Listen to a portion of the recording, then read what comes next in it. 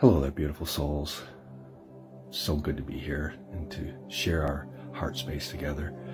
On my natural uh, cancer protocol, um, I was inspired by the Spirit to write a couple poems about nature and its beauty and blessings that we share. And this poem um, is called The Stand. And uh, see if you like it. I write these poems not just for you, but for myself to help me through. These things we seek to know ourselves are within reach and revives our cells. There's disease and cancer, illnesses too. With faith, with nature, you'll be made anew. Clean your body, heart, mind, and soul. Be one with nature, become one, become whole.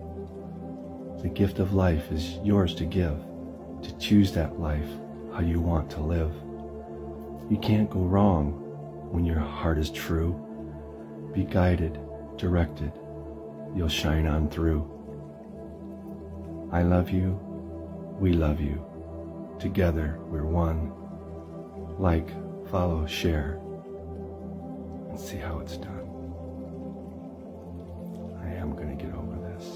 Those of you that are out there doing the natural way or wondering how to cure cancer, to cure illnesses, find the natural way. Know that it will work. In your heart, have faith, have hope. And in that, and in love, and in the desire that you have, feel yourself whole. You'll become whole with you. May it comfort you and have a blessed day. Amen.